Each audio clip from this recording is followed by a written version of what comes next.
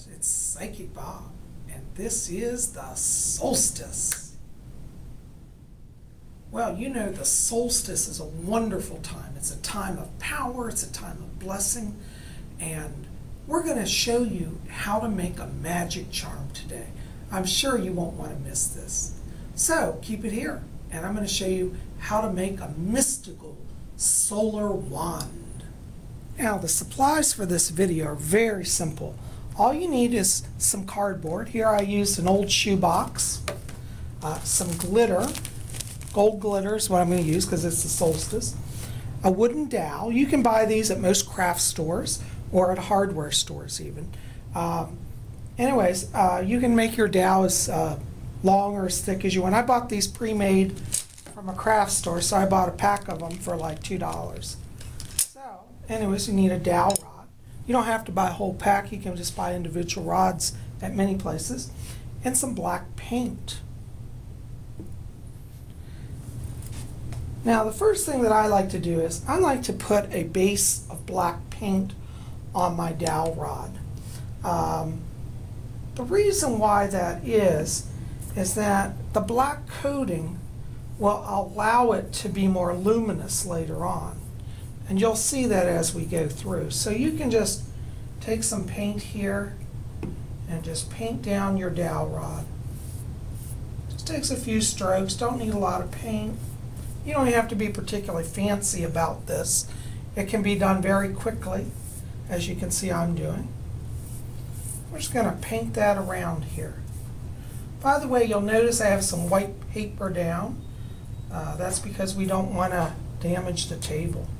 But as you can see here, we've got our dowel rod painted. I'm going to let that just sit up for a minute. Uh, you want to just let that dry. It uh, just take about 10 or 15 minutes.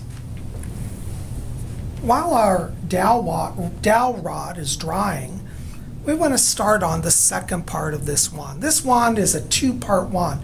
It's going to consist of a staff and have a, a, a solar top. So, taking your cardboard, um, you want to start to trace a solar image. Now you can make it a circle or you can make it a star.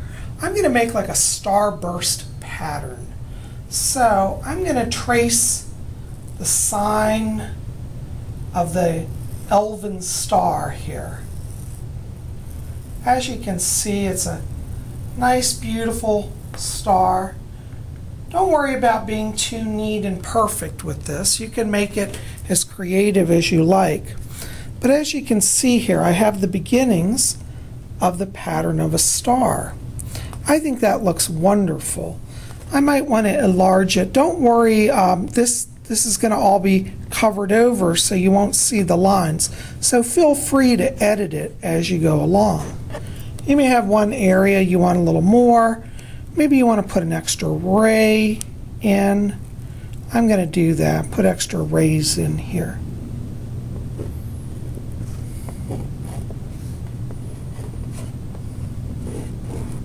You can just trace those in. Put a nice big starburst pattern.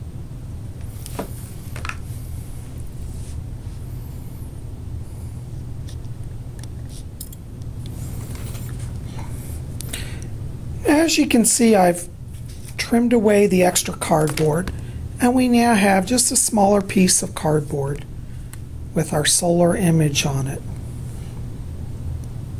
Now what you want to do is just go ahead and cut that out.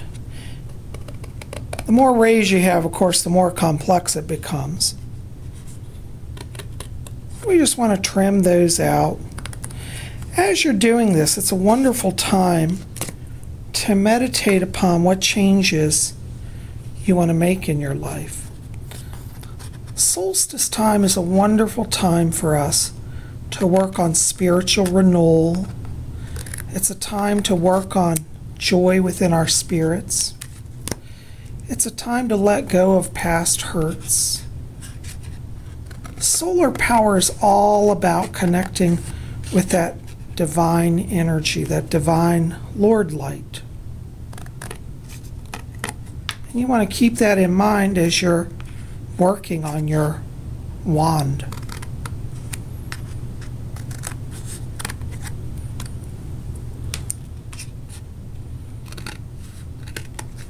Just work on around, trimming out your star.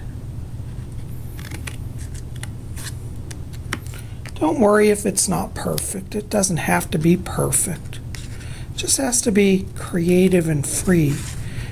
Try to meditate on the solar rays, what those feel like beaming down.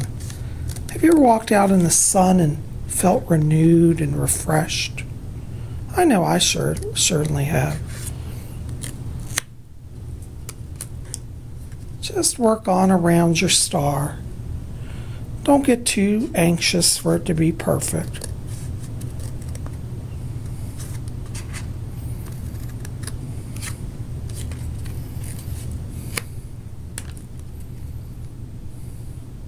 As you can see, we're about halfway there.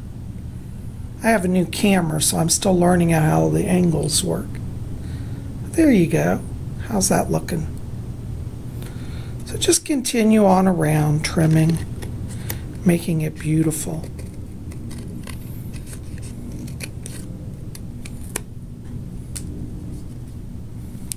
Now that we have our star cut out, our solar image, you want to again take your black paint, just get a little paint. This doesn't have to be a fancy paint job, it's not going to really be seen. Um, but just go ahead and paint your star. just color it in in black.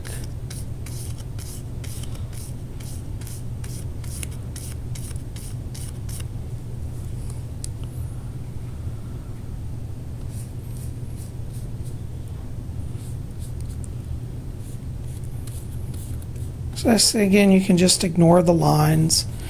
That's why I said it's going to all get painted over. It doesn't matter if it's uh, perfect or not.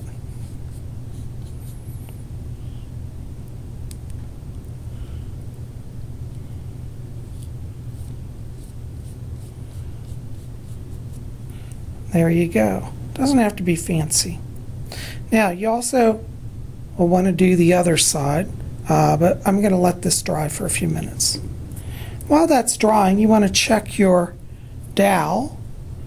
Our dowel's almost dry, just a tiny bit wet. So we'll let that sit for just a few minutes.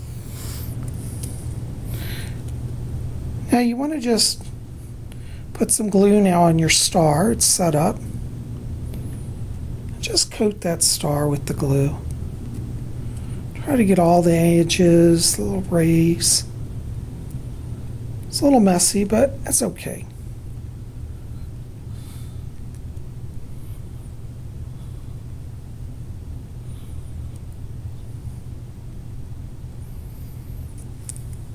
And there you go. Now what you can do is you can take your star, you can dip it in the glitter. Just dip that star in. You can also take some glitter and sprinkle it on the edges of your sun. Just give it a good coating of glitter. You can be generous with the glitter.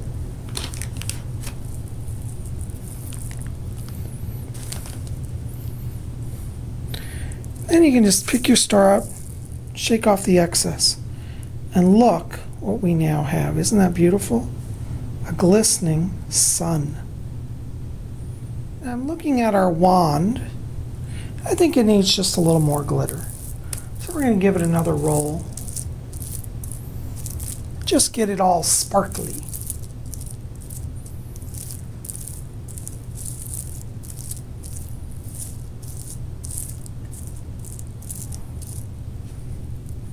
How's that looking? See how it glistens?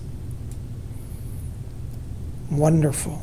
Now the final part is you want to just hook your sun to the back of the wand. Now we could glue, excuse me, we could glue it or tape it. Today I'm just going to tape it because, and for expediency's sake, um, but you can do either. Um, just hook that on your wand. In fact, hook that on and then if you want to paint it that would probably be the better way to go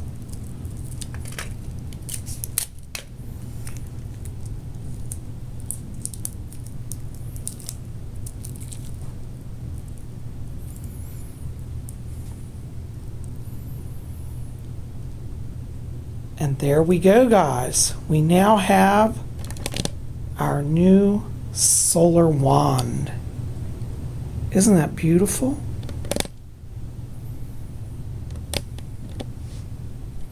Well, guys, as you can see, I now have my solar wand.